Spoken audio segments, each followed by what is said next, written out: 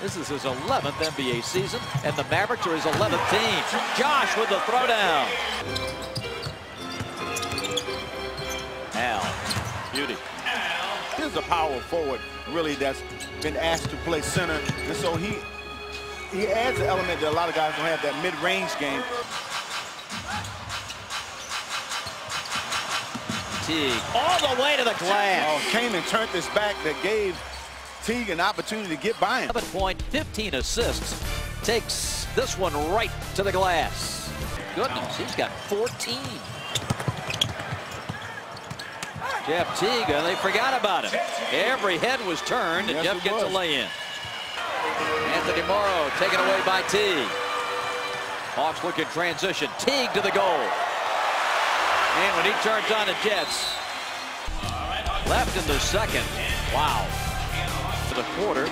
Tonight's high-speed breaks brought to you by Charter Internet. One more look as Jeff Teague takes this loose ball and is not touched all the way to the glass. And you see him here just exploding to the basket. Dallas, they're very important.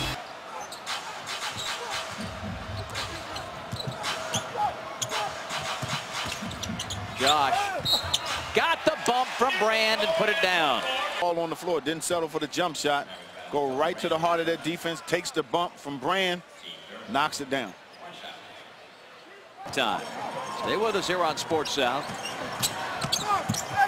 Teague, tough one. Devin, up and in. Boy, a lot of.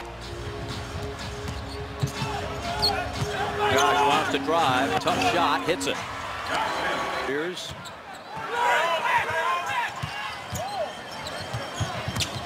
Yeah. Nice hang and hit. 68. Kyle fires. And a poke away. Jeff Teague with a steal. Dirk won't catch him. And the jam gives Teague. Hawks need something in transition. Teague gets it to drop. Count it. And a blocking foul on Collison. Turning it on. Collison was backpedaling but never could get set. Timeout at Philips.